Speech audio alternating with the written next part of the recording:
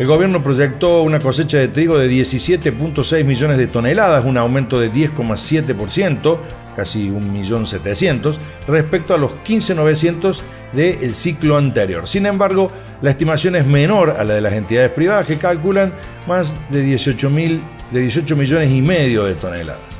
La cebada se espera una producción de 5.1 millones de toneladas, similar al año pasado. La Secretaría de Agricultura destacó que la falta de lluvias afectó al trigo en regiones claves, aunque Buenos Aires tuvo condiciones más favorables. Con un 29% cosechado se cubrieron 6,3 millones de hectáreas. En el NOA la trilla está cerca del final, pero los rendimientos son bajos con promedios entre 10 y 11 quintales por hectárea.